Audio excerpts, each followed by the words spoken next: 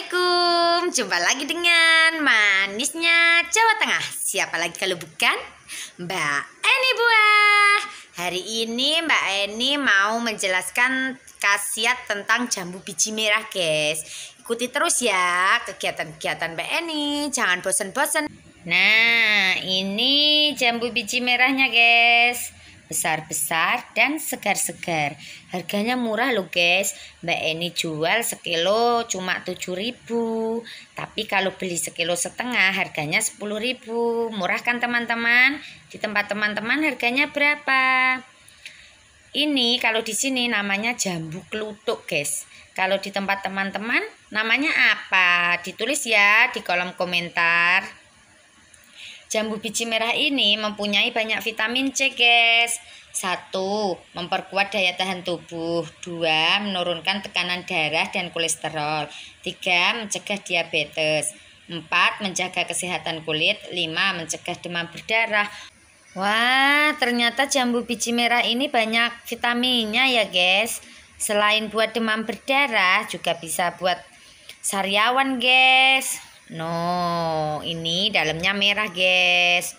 Biji-bijinya banyak. No, ya kan? Dibandingkan sama buah jeruk, vitamin C-nya paling banyak itu jambu biji ini, guys. Jeruk juga vitamin C, tapi vitamin C-nya paling banyak jambu biji, guys. No. Nah, banyak banget kan, guys?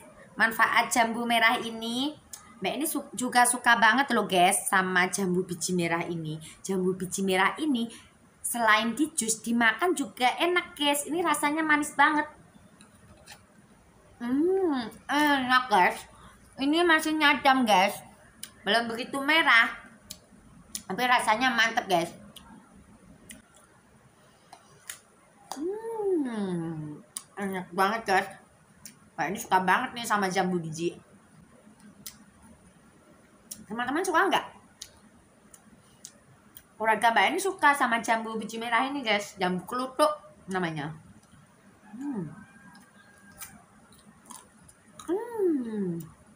Ini masih nyadam guys, masih kriuk-kriuk.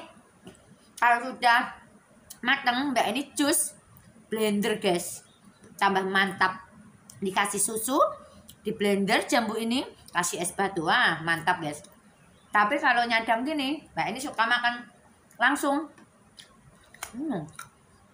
Enak banget, guys. Sudah dulu ya, teman-teman. Assalamualaikum. Sampai jumpa besok. Dadah.